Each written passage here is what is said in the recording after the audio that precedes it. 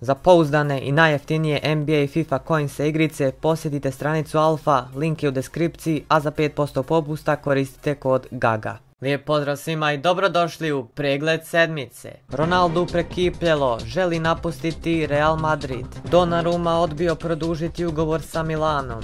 Verratti rekao da Barceloni. Antoine Griezmann produžio ugovor sa Atletikom.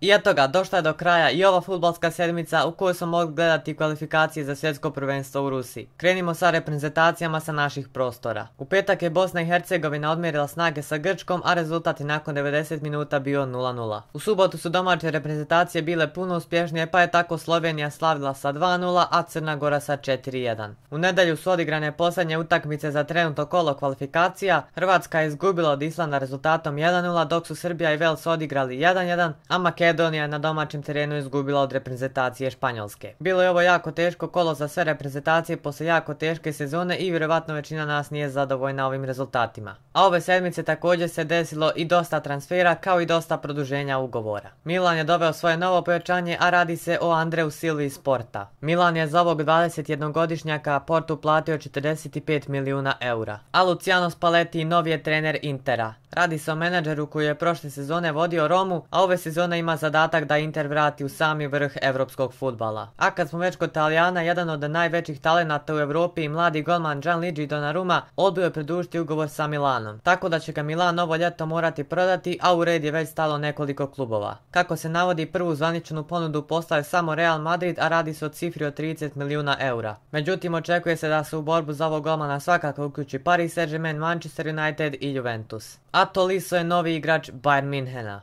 Radi se o mladom igraču koji je prethodnih sezona branio boje Liona, a sa Bayernom je potpisao ugovor na 5 godina. A iako se mnogo špekulisalo da bi Antoine Griezmann mogao promijeniti klub ovo ljeto, te da će ga kupiti Manchester United, Chelsea i ostali klubovi, međutim on je odlučio ostati vjeran Atletico Madridu i produžio ugovor do 2022. godine. A posljednjih dana sve više se špekuliše o prelasku Marka Veratija u redove Barcelone. Kako navode katalonski mediji, Verati je rekao da Barceloni, a ostaje još samo da ubjedi predsjednika Pariškog kluba da ga pusti u katalonski klub a Barcelona će za njegove usluge morati izdvojiti oko 80 milijuna eura. A portugalski mediji danas nam donose senzacionalnu vijest, naime kako oni kažu Cristiano Ronaldo odlučio je ovo ljeto napustiti Real Madrid. Kako navode Ronaldo je zgrožen i uznemiren zbog tužbe za utaju poreza i rekao je svom agentu da traži novi klub. A u red za Ronalda odmah su stali Manchester United i Paris Saint-Germain koji su spremni izdvojiti oko 180 milijuna eura za ovog Portugalca. A da li je ovo još jedna loša izmišljotina, saznat ćemo uskoro. I eto ga, to bilo to što se tiče pregleda sedmice, a podsjetimo se sada prošlosedmičnog centralnog pitanja. Da li je Balde Diao Keita stvarno gej?